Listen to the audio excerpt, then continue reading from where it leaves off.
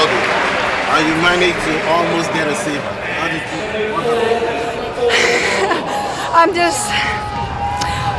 I just told myself I can't give up now. Um, I've worked so hard for this, and I must push until the end. And I don't know, just like a second um, spurt of strength and everything that came through, and I ran, and that brought me the bronze medal. I wasn't for sure, but when I saw my name popped up for third, I was just really, really happy.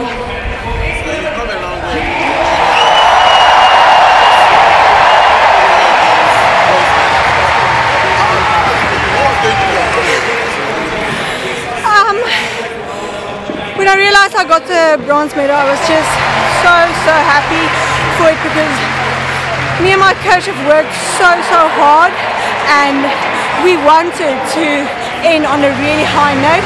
I already had like a high note that I could end my season on. I ran a PB in Oregon, but I, I really wanted this Commonwealth Games to be one to remember for this season.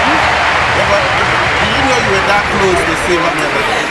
No, I actually didn't. I just saw on the board our time is actually exactly the same. But yeah, I'm happy I brought a medal home for South Africa. Thank you.